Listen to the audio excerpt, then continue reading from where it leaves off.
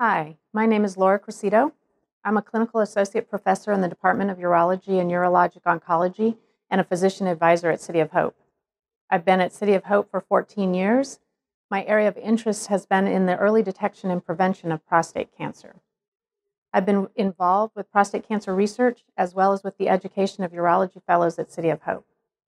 In addition, I work with the Department of Quality Risk Management to establish quality cancer metrics and to promote best practices at City of Hope. Five years ago, I developed an educational program for City of Hope patients undergoing robotic prostatectomies. As part of this program, I led regular informational sessions for patients. The success of the program and the importance of getting this information out to all patients who undergo a robotic prostatectomy at City of Hope has led to the creation of this educational video. As an advocate of patient centered care, I'm very excited to be participating in this video today.